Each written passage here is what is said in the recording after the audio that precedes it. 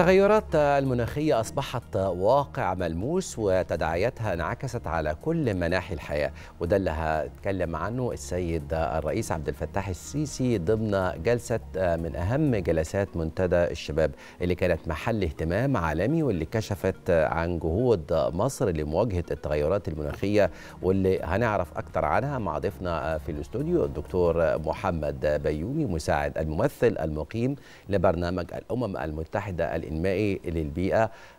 دكتور محمد أهلا بيك وصباح الخير. أهلا وسهلا يا فندم شرفت. أهلا بحضرتك يا فندم صباح الخير. إزاي تابعت جلسة التغيرات المناخية وفكرة إنه يتم طرحها في محفل شبابي مهم زي منتدى شباب العالم؟ الحقيقة أعتقد إن جلسة التغيرات المناخية في مؤتمر الشباب كانت واحدة من أنجح الجلسات الحقيقة في المؤتمر. موضوع اهتمام الشباب بموضوع التغيرات المناخية. الشباب الحقيقة ورث تركة تقيلة من الأجيال اللي قبله فيما يتعلق بموضوع التغيرات المناخية. كان في تصرفات الحقيقة أو تعامل مع الموارد الطبيعية من الأجيال السابقة مش بطريقة سليمة بيحصد ثمارها النهارده الشباب. وزي ما إحنا عارفين إن الموضوع ما كانش هيكون في مواجهة معاه هيتفاقم في الفترة اللي جاية. وبالتالي الشباب هو اللي عليه الدور الأكبر في مواجهة هذه المشكلة. التغيرات المناخية الحلول بتاعتها الحقيقة حلول غير تقليدية نلجأ لحلول مبتكرة والشباب هم الأقدر على على التعامل مع هذه القضايا اللي فيها ابتكار وفيها تطوير الحقيقة لتكنولوجيات ما كانتش موجودة قبل كده. الكلام ده الحقيقة مش كلام نظري لأن إحنا شايفين تطور كبير جدا بيحصل في الطاقات المتجددة أسعار بتنخفض للطاقات المتجددة بأسعار بتوصل ل 90% في خلال فترات وجيزة زي الطاقة الشمسية. اللي بيقوم بالأبحاث والتطوير ده هم شباب الحقيقة على في في العالم كله. شايفين أكبر شركة لصناعة السيارات الكهربائية بيقودها شاب على مستوى العالم الحقيقة وبيطور تكنولوجي كبيرة بين العالم نقلة كبيرة جدا. فأعتقد ان إن المجال مفتوح للشباب للمشاركه والمساهمه علشان إنقاذ كوكب الأرض في الفترة اللي جاية. دكتور محمد هنا في سؤال هام نود طرحه هو هل التغيرات المناخية في إحنا عايزين يعني ناخد برضو من حضرتك تعريف سريع ليها وفي نفس الوقت هل التغيرات المناخية إحنا اللي مسؤول عنها مسؤولين عنها كلها ولا في بعض العوامل الطبيعية اللي مسؤولة أيضا عن التغيرات المناخية؟ باختصار شديد التغيرات المناخية بتحصل في كوكب الأرض بصورة مستمرة. وشهد كوكب الأرض تغيرات مناخية كثيرة على مدار ملايين السنين. أه لكن اللجنة الدولية الحكومية المعنية بالتغيرات المناخية وهي أعلى لجنة موجودة على مستوى العالم تابعة لسكرتاريه الأمم المتحدة. الحقيقة بتتكون من خبراء على مستوى العالم الحقيقة الأكبر في العالم في هذا المجال. التقرير الأخير اللي صدر السنة اللي فاتت بيؤكد إن الأنشطة البشرية هي اللي أدت لهذا التغيرات المناخية اللي بتحصل دلوقتي وإن المعدلات بتاعة التغيرات المناخية هي معدلات متسارعة غير مسبوقة لم تحدث على في تاريخ كوكب الأرض قبل كده.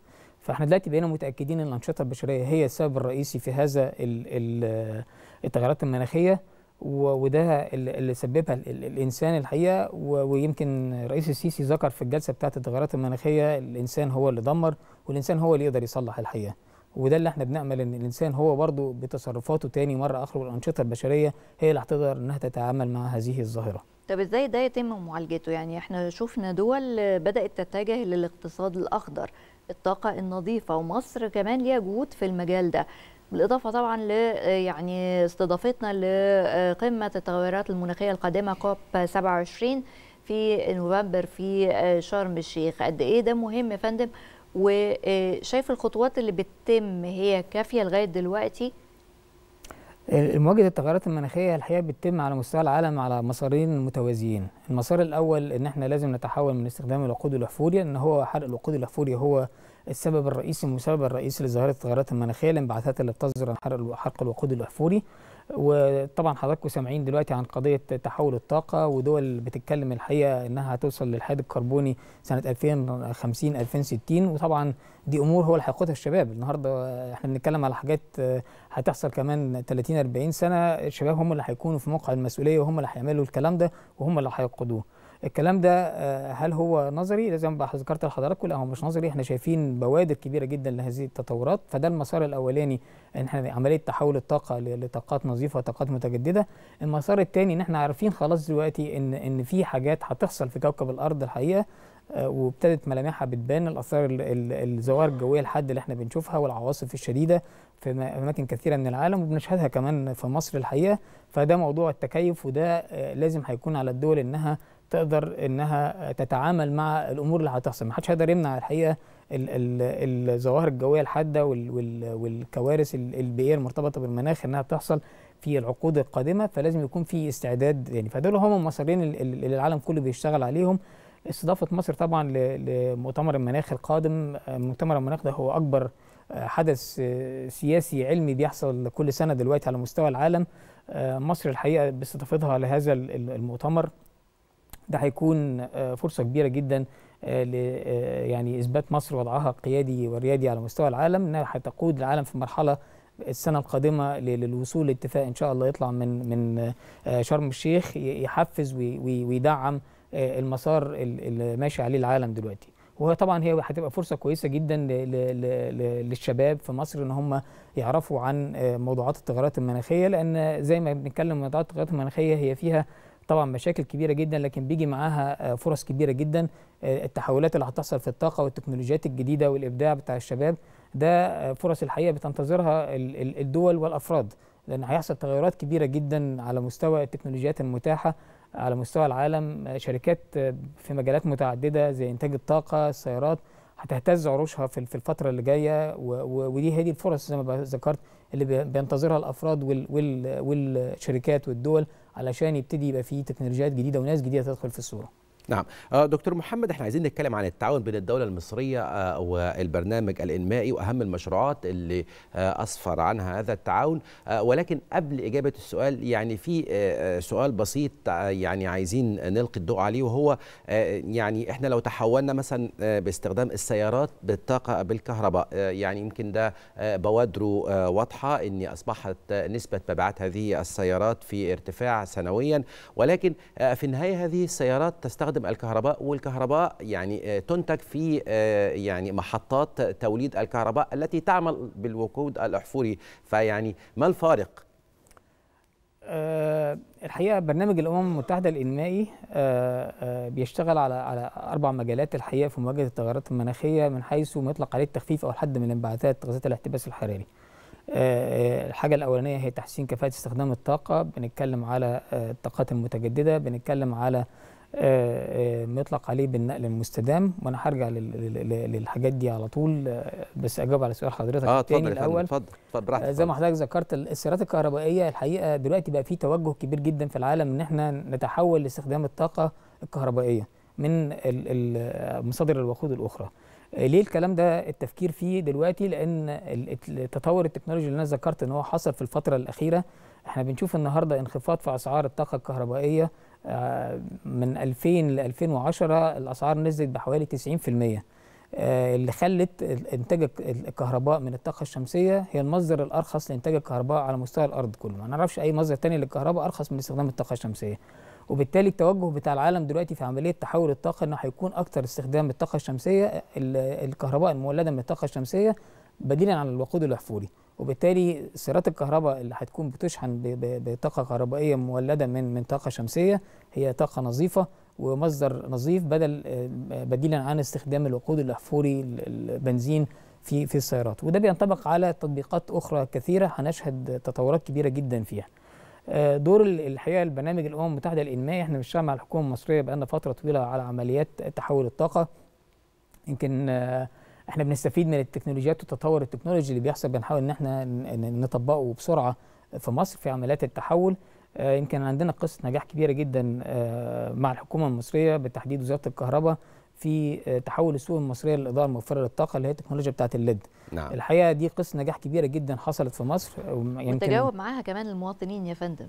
آه يا فندم بالظبط كده ودي يمكن دي نقطة مهمة جدا أنا عايز اكد عليها إن إحنا إحنا بنتكلم على الإجراءات ال ال ال الخاصه بمواجهة التغيرات المناخية هي مش دولة بس. يعني الدولة بنت محطات آه. كبيرة للطاقة الشمسية على سبيل المثال لكن بنتكلم على تحسين كفاءة استخدام الطاقة دي دي استثمارات بتيجي من الأفراد الحقيقة ومن الشركات ومن الهيئات.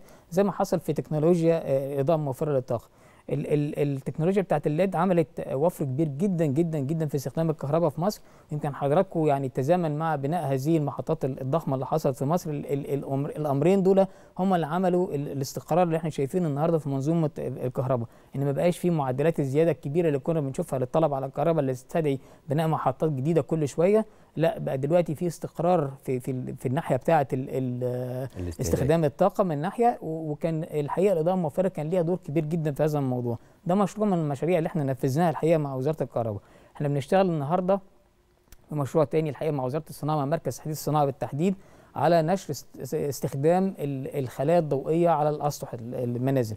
وده يمكن يكون المستقبل في المستقبل القريب في موضوعات تحول الطاقة إن إحنا هنشهد المستهلكين هيبتدوا إن هم يكونوا منتجين يعني من ناحية ابتدى إن هو يقلل استخدامه بتحسين كفاءة استخدام الطاقة ودي استثمارات بتتعمل الحقيقة في تكنولوجيات زي الإضاءة وأمور أخرى.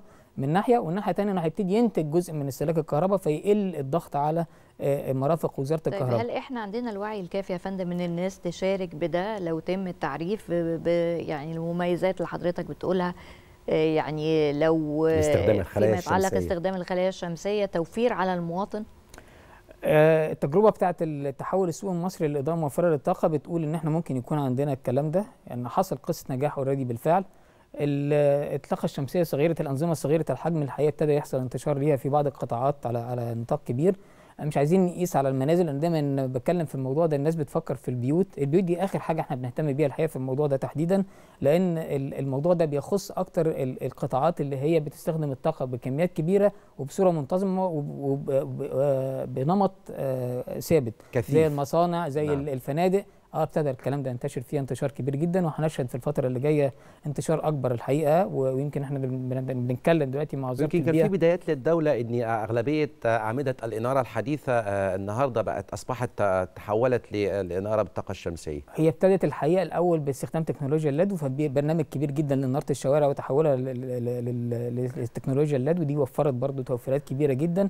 تحولها للطاقة الشمسية بيجي في المرحلة الثانية وإحنا دايما بنتكلم إن الطاقات الجديدة والمتجددة بيسبقها. لازم الأول تحسين كفاءة استخدام الطاقة وبعدين أستثمر في الطاقات المتجددة.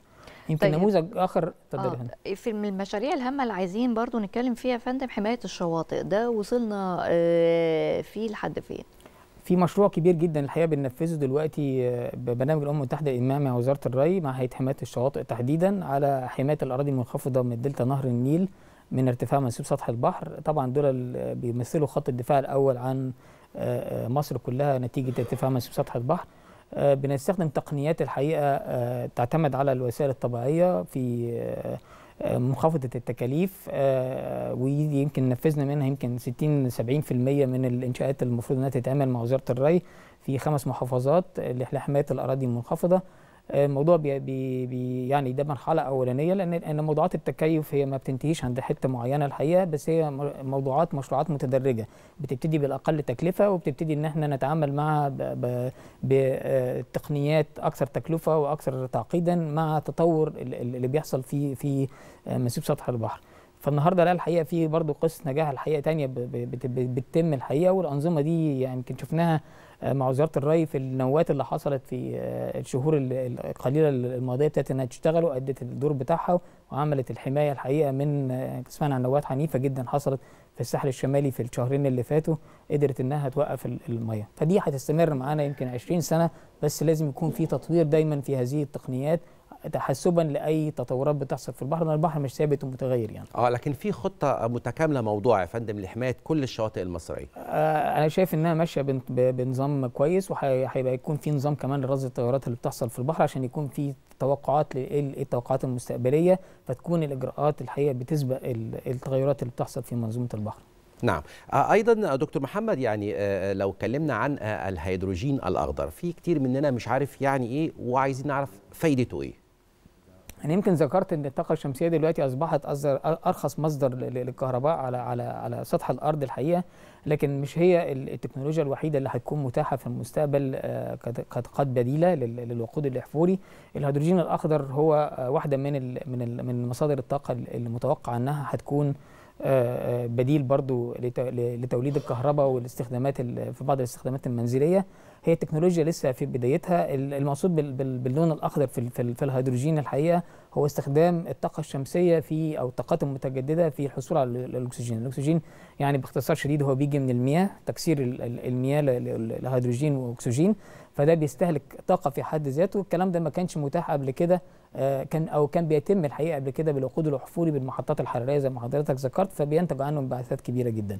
دلوقتي مع رخص التكاليف الطاقات الشمسية ممكن إن إن المية تتكسر الحقيقة باستخدام الطاقة الشمسية أو الكهرباء المولدة من الطاقة الشمسية وبالتالي مصر الحقيقة ممكن يكون ليها مكانة كبيرة جدا وفرصة كبيرة جدا لتصدير هذا الهيدروجين للعالم نتيجة إن إحنا يعني دولة الحقيقة ربنا حباها بكثير من الشمس ساطعة على مدار العالم. بالظبط نعم. كده يا فندم. أكيد. طيب التغيرات المناخية هي كارثة بكل المقاييس. حضرتك شايف إيه الملف اللي ليه الأولوية إن إحنا ناخد خطوات فيه؟ مش بكلم على مستوى مصر بس على مستوى العالم. حتى نتفادى تبعات هذه الكارثة. أو نحاول نقلل تأثيرها. آه. كلام الحقيقة كلام سؤال كويس جدا الحقيقة لأن إحنا شايفين زي ما ذكرت الحقيقة تطورات كبيرة جدا على مستوى العالم في الحد من غازات الاحتباس الحراري زي ما ذكرنا بالتكنولوجيات اللي هي أصبحت متاحة وما كانتش متاحة قبل كده موضوعات التكيف مع التغيرات المناخية دي طبعا قضية بتهم أكتر الدول النامية أكتر من الدول المتقدمة لأن الدول المتقدمة الحقيقة يعني كانت حريصة إنها تعمل هذا الكلام من بدري المشكلة بتاعت موضوعات التكيف إنها بتحتاج لتغييرات في البنية التحتية ودي تكاليف كبيرة جدا. بتشوف غرق مدن متعددة عندنا في, في, في مصر نتيجة الأمطار اللي هي غير متوقعة بكميات أكبر مما تتحملها النظم الصرف مش متصممة إنها تشيل كميات مية بهذه الطريقة. وبالتالي إحنا بنشجع الدول النامية إنها تلجأ أكثر لما يطلق عليه إجراءات الحد من هذه الآثار. إجراءات الحد من هذه الآثار قد تكون إجراءات بسيطة لا تتطلب تغيير البنية التحتية لفترات زمنية قد تكون كويسة تسمح لنا إن إحنا نمانوفر بيها. يعني على سبيل المثال الحقيقة لما شفنا عاصفة التنين اللي حصلت في في مارس 2020 ظاهرة كانت جامحة كبيرة جدا شفنا إن الدولة أدت أجازة للمواطنين الحقيقة في في الأيام اللي حصلت فيها العاصفة وده قلل كتير جدا من الخسائر البشرية والاقتصادية اللي كانت ممكن ممكن تنجم لو كانت الناس موجودة في الشارع. أنا بدي بس مثال بسيط لهذه الإجراءات دي لازم إنها تنظم الحقيقة على مستوى وطني في في الدول النامية ولازم يكون في توسع أكتر في مثل هذه الإجراءات إن أنا بقفل المناطق اللي أنا عارف إنها بتكون مهددة بالعواصف في أوقات نعم. معينة وإن إحنا نحذر الناس والناس تعمل إجراءات معينة في وقت الأزمة علشان تقلل من الخسائر البشرية والاقتصادية.